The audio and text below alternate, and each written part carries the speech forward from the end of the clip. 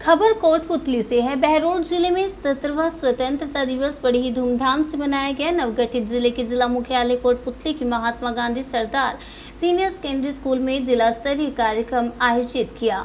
जिला स्तरीय समारोह की अध्यक्षता गृह राज्य मंत्री राजेंद्र सिंह यादव ने करी। कार्यक्रम में जिला कलेक्टर शुभम चौधरी, जिला एसपी रंजीता शर्मा सहित ज़िले का तमाम प्रशासनिक अमला मौजूद रहा। कोटपुतली में पहली बार आयोजित हुए जिला स्तरीय कार्यक्रम को लेकर क्षेत्र में आपको बता दें, काफ़ी उत्साह देखने को मिला। मंत्री राजेंद्र सिंह यादव का जिला प्रशासन की ओर से स्वागत किया गया। मंत्री राजेंद्र सिंह यादव ने मुख्य समारोह में झंडारोहण करके तिरंगे को सलामी दी।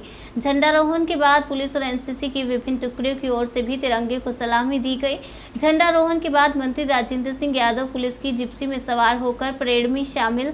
पुलिस, एनसीसी की टुकड़ियों का निरीक्षण किया। समारोह में लोक कलाकारों द्वारा और विभिन्न स्कूल के छात्र छात्राओं द्वारा देशभक्ति की रंगारंग प्रस्तुतियाँ दी गई, जिसके चलते समारोह का पूरा परिसर देशभक्ति से देशभक्ति में डूबा नज़र आया। समारोह में अलग अलग क्षेत्र में उत्कृष्ट कार्य करने वाले प्रतिभावान लोगों का सम्मान किया। आपको बता दें कि स्वतंत्रता दिवस की पूर्व संध्या पर भी जिला प्रशासन की ओर से सांस्कृतिक कार्यक्रम रखा गया था, जिसमें लोक कलाकारों ने देशभक्ति के गानों पर अपनी प्रस्तुतियाँ दी थी। प्रबुद्धजन, प्यारे बच्चों आज मुझे बहुत ही हर्ष भी है और वो सपना साकार हुआ।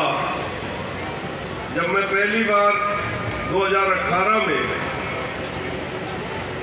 मंत्री बना तो मैं सोचता था, डूंगरपुर बांसवाड़ा का प्रभारी था।